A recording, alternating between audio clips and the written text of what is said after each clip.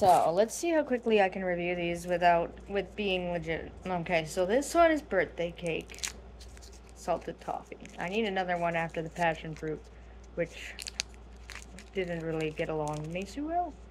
So, oh boy, really good. But that's about as much birthday cake as I can handle.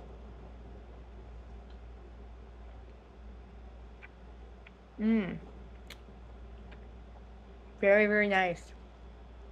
Then you got this one, which is called Rad Raspberry.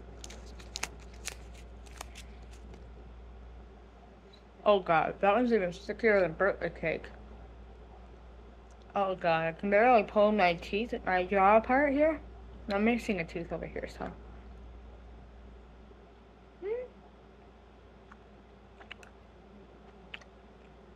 Mm. I'm not a big fan of this one. Mm.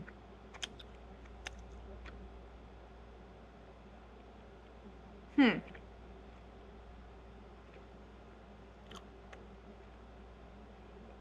I'm gonna need another one. One more. Lastly, we have cookie dough for this one. Doing a three take on this one.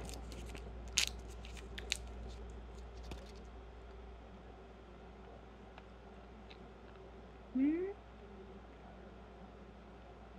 Hmm. Moment.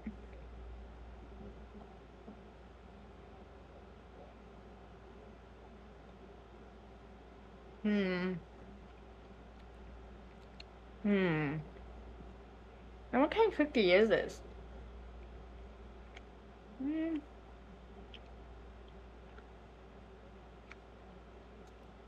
I'd have to say one for this one, zero to one. It's just it's not mild, but don't know. Not my favorite.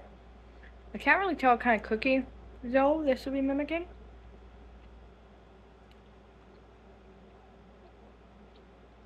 Actually, think I prefer the um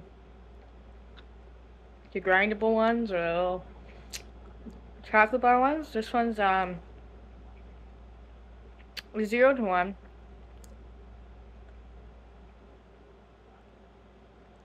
And uh, its texture is hard, but really sticky.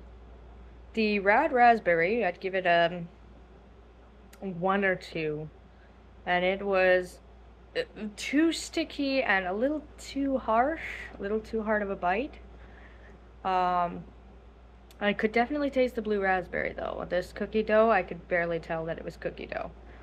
Uh, then you had the birthday cake, which I actually kind of wish I spared that one as a final one. Because honestly, that was the best one, and I'd give that one a 3 out of my 1 to 3 scale.